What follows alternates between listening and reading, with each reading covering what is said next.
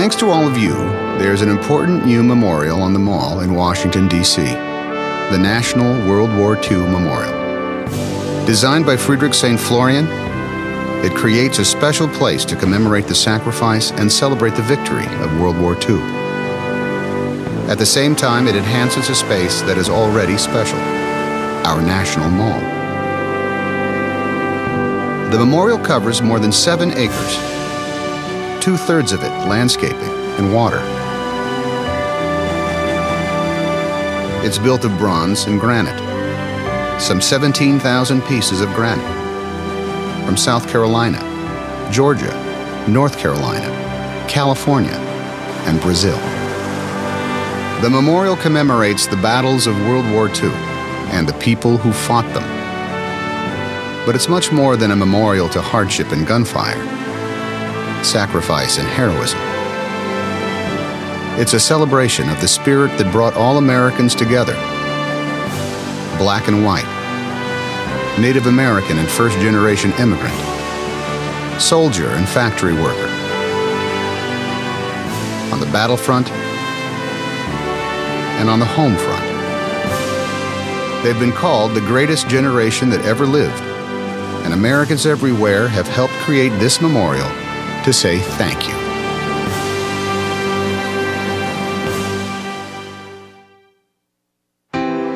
Come with me and discover the special significance that's built into the granite and bronze of this memorial. We'll enter by the ceremonial walkway that leads from 17th Street. To your left and right, you'll see flagpoles. The base of each flagpole bears an inscription and the seals of the military services and merchant marine.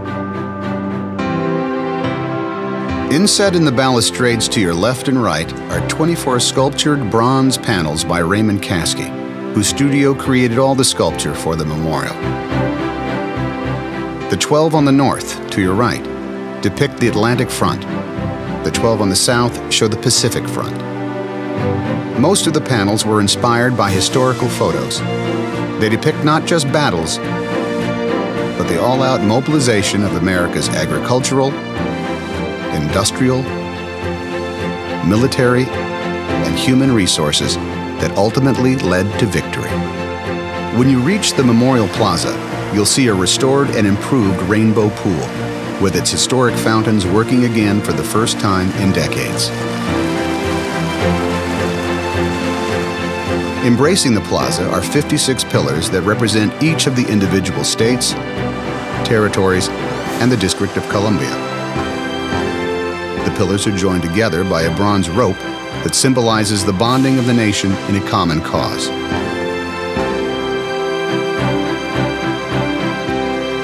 Two bronze wreaths, one of oak and one of wheat, symbolize America's role as both the arsenal of democracy and the breadbasket of the world. To the right and left are two memorial pavilions, each 43 feet high. The South Pavilion commemorates the war in the Pacific, and the North, the war in the Atlantic. In each pavilion, four bronze columns support American eagles that hold a suspended laurel wreath to memorialize the victory of the World War II generation. On the floor of each pavilion is the World War II Victory Medal.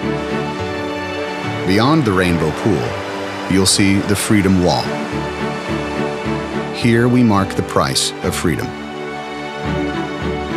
A field of 4,000 sculpted gold stars commemorates the more than 400,000 Americans who gave their lives. The Gold Star has its own history. During the war, blue stars were displayed to indicate family members serving in uniform. The stars changed to gold when a loved one was lost. The pillars closest to the Freedom Wall, occupying places of honor, represent the original 13 states. The rest are ranked in the order in which they achieved statehood or became part of the United States.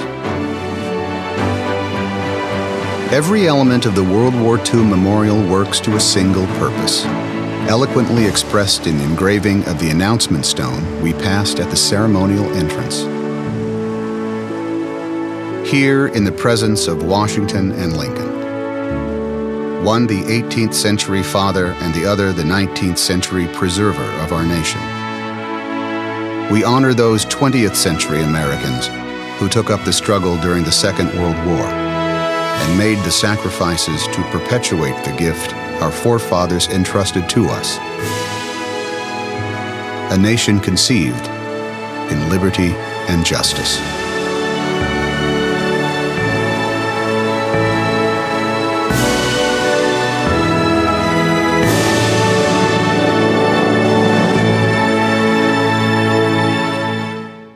Good morning.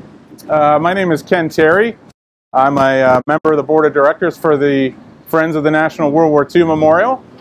And I also happen to have been the project manager for the general contractor that built the memorial. So uh, I thought I'd uh, give you a little tour today and give you some of my insights into the memorial and some of my memories and, and things like that. And, and hopefully uh, you'll find it interesting and enjoyable.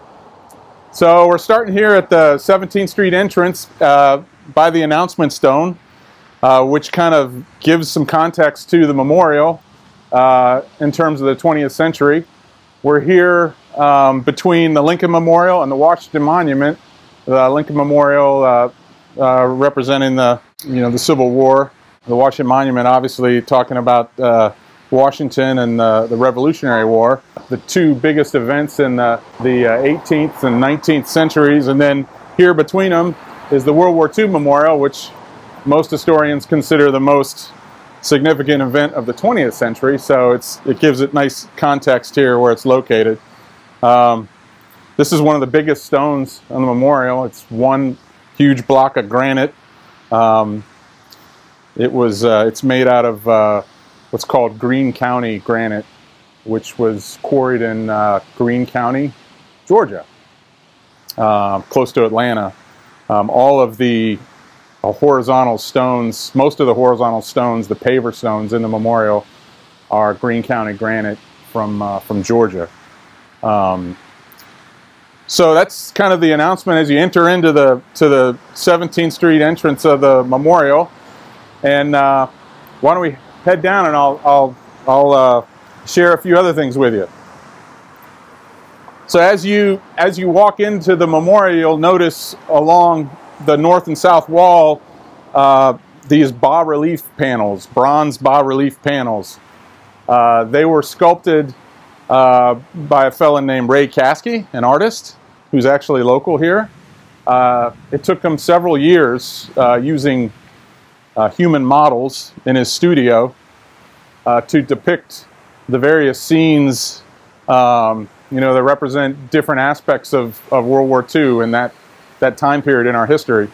Um, as you go down, you can see uh, different different events. Uh, you know, people identify with different different uh, scenes, uh, but they kind of tell a story as you as you walk down into the memorial, and it's quite quite fascinating.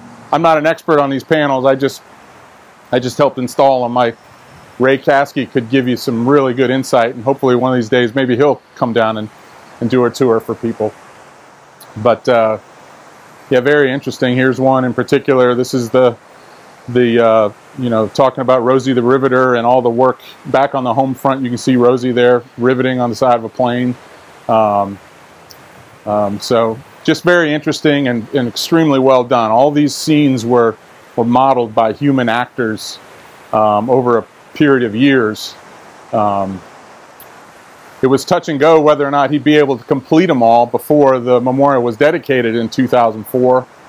And he was installing the last of the panels a couple weeks before dedication, so he made it uh, just under the wires. Okay, so as we enter the memorial proper here, um, you can see, you know, we have two large arches, one in the north, which really represents the Atlantic or European theater, and then another one in the south, which uh, represents the Pacific theater, the two uh, primary theaters of the, of the war. And then flanking those uh, pavilions are 56 uh, granite columns. Each one represents a state or territory of the United States at the time of uh, World War II. People often ask, how did you decide in what order they go? And they're actually in the order that they became a part of the Union, in the United States. So if you look on the, the, the very first one on the left is Delaware, and then it alternates back and forth. The second state admitted to the Union was Pennsylvania over here, and then New Jersey, then Georgia. So that's how they determined the, the order of them. Um, you heard me mention earlier that the majority of the paver stones are from Georgia. The vertical stones are uh, a, a, granite called Kershaw granite, which is out of a quarry in South Carolina. Um, so by cubic volume, most of the stone came from that quarry in uh, South Carolina, Kershaw, South Carolina, uh, if, if you find that interesting. Uh, some of the some of the paving stones, I mentioned most of them came from Georgia, but the green paving stones you see there, there's two different colors of it, and both of those came from Brazil. Uh, Brazil just happens to have a lot of uh, nice green granites. Not not a lot of that in the United States, so we had to go to Brazil to get to get those. So the primary feature of the memorial in the center here is the rainbow pool, which which existed since the 20s. Uh, was originally built in conjunction with the Lincoln Reflecting Pool. Uh, this rainbow pool is a, a replica of the original rainbow pool. It's the exact same shape. It's just slightly smaller to allow for, for the uh, arches and, and pillars uh, on the uh, north and the south. And it's obviously a little bit lower now. It's, it's sunken down into it, but it's, it's uh, paying respect to what was originally here, which is the, the rainbow pool is what it's, what it's called. So we talked about the pillars and how they represented the, the states and territories of the United States during the war. And you'll notice that in between each of those pillars is a, is a bronze rope. And it, you know, it, it goes continuously around the memorial. And that was meant to represent the unity of the country during World War II and how we all banded together for a common goal to defeat our enemies and then uh, the other symbolism on these rampart walls is you can see the, the wreaths, the bronze wreaths that are hanging from the pillars. They're alternating uh, oak and wheat wreaths. So the oak is meant to symbolize uh, our military and industrial might. And then the wheat wreaths are meant to symbolize our agricultural might or, or the, you know, the breadbasket of the world as we've, as we've been known. Some of the interesting construction uh, challenges. Um, so you can see the, the ropes are, uh, are made from bronze and they intersect stone, two different materials. So uh, it was very challenging to get that exactly correct. So each one of the ropes is slightly different because when you cast bronze, it shrinks at different rates and, and things like that. So each one of those stones on either side is custom cut to fit each and every one of the, the bronze sculptures.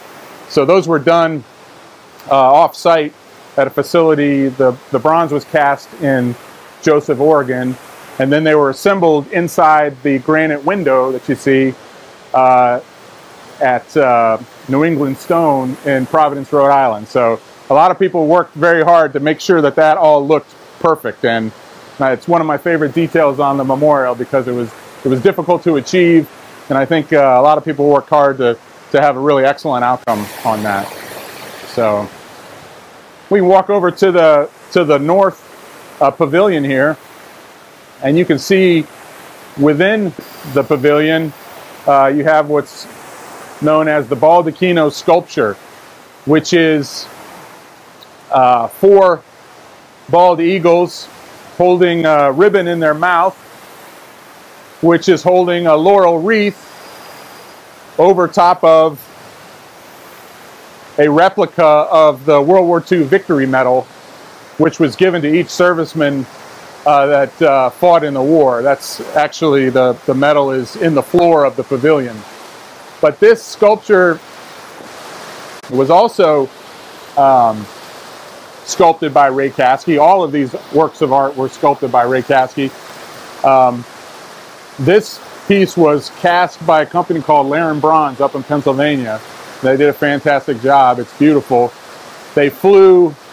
They we had to lower the uh, each individual eagle down through the oculus in the top of the pavilion. You can see the hole in the top of the pavilion is called an oculus. Uh, each one was lowered down into place, and then the wreath was lowered down last. It was all connected here in the field uh, on site, and they had to uh, apply the patina here in the field to get everything to blend in. It was it was a very impressive operation uh, with Ray Kaskey and Laran Bronze. They did a very nice job. Um, so some of the other construction details, the largest stone on the project is actually this stone right here. It's called the balcony stone. Uh, it's the lower piece of the balcony. It's one carved out of one block of granite.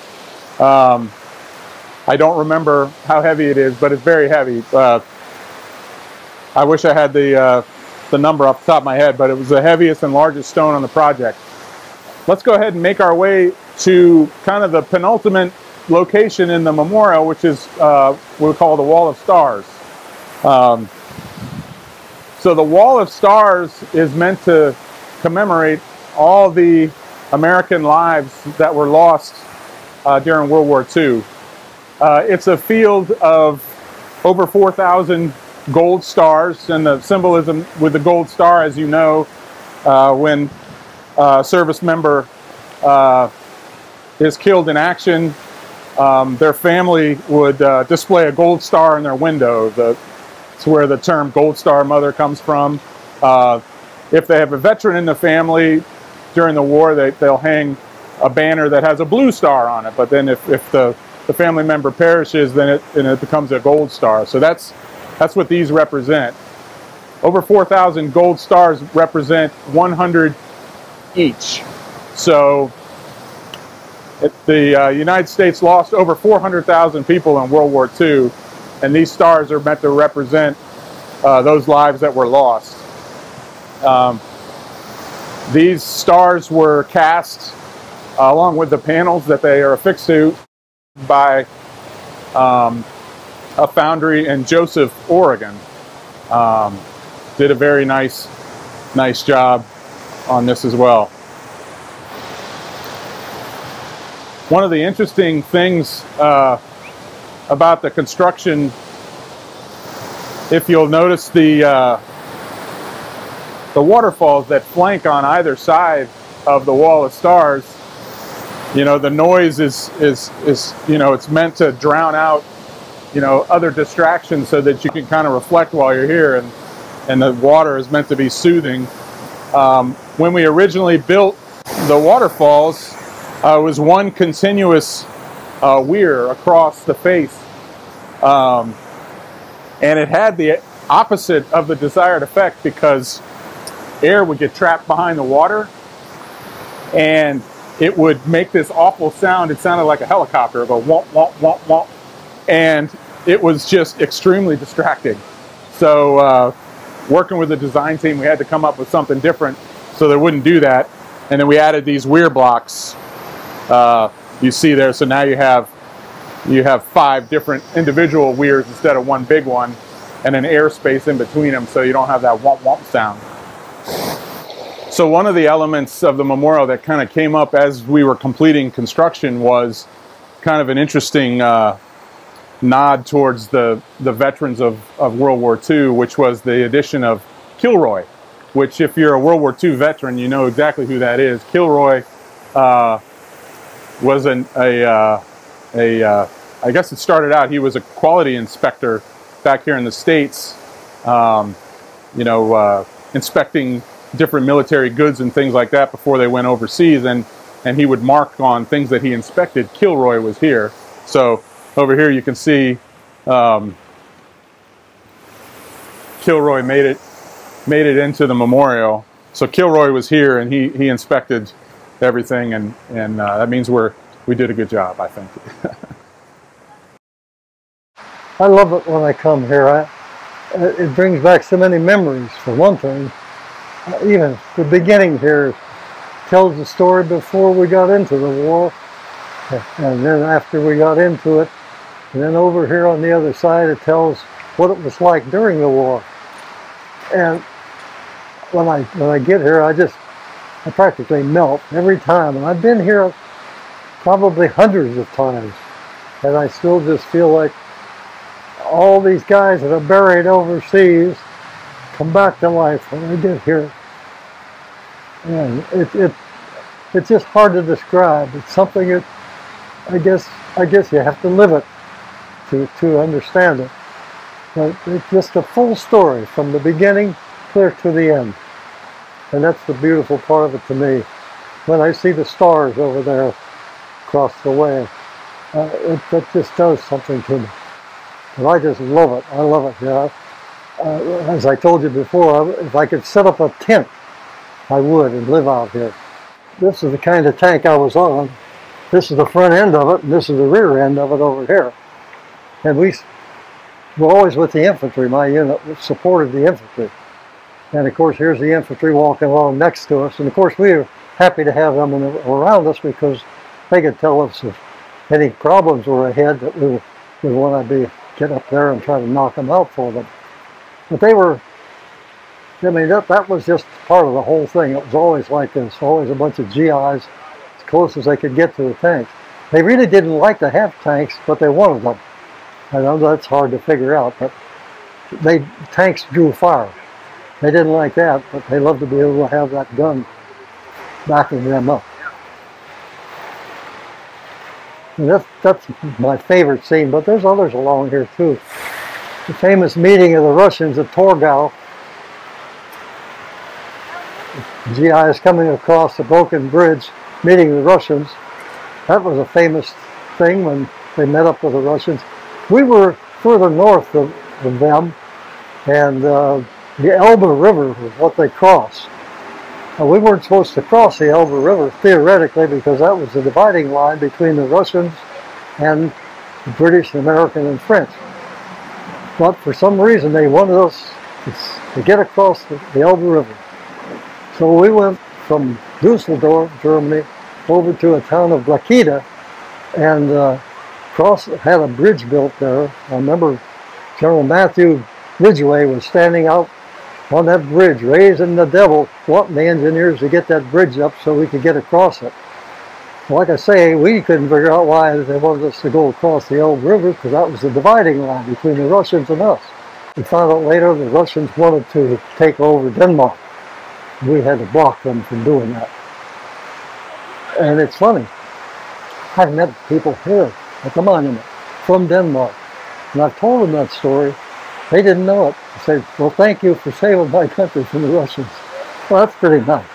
I, I, I met so many people from foreign countries here, even Russians. I've, I've been on Russian TV. I've been on uh, Chinese TV, uh, I, I, French, German, uh, uh every country in, in, Europe. I've been on a TV program, all interviewing me about this kind of stuff. And I've met so many nice people here. Of course, they're all patriotic or they wouldn't be here, and I guess that's the thing we had in common.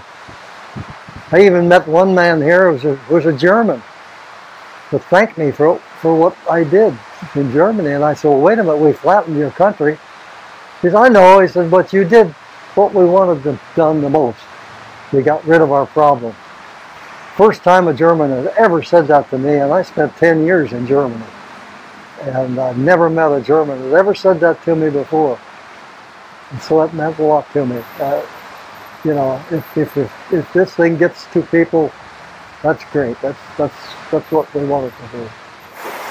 I was here for the dedication of the monument, and uh, it. It was in May, I remember that. Hot, terribly hot. And they had seats all the way from here, right here at the edge of the, the monument, all the way up to the Washington Memorial and it was just jammed with people, veterans, and their, and their wives. And they had big TV sets up here so that you could see what was going on on the, on the main program. And they played World War II music.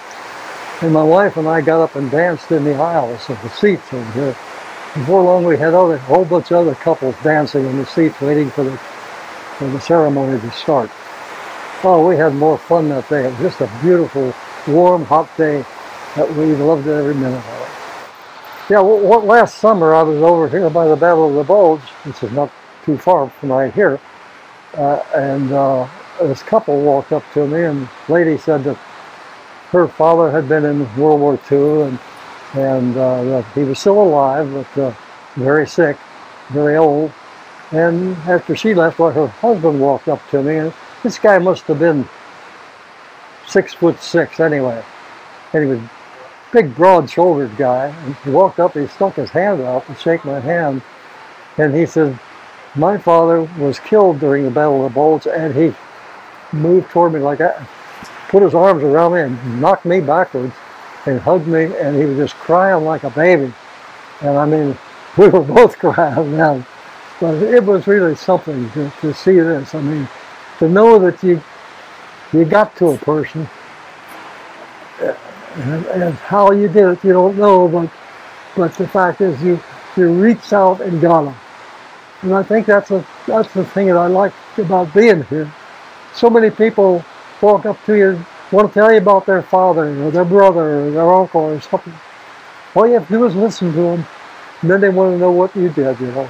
And it's just just an un, uh, it's almost indescribable the feeling.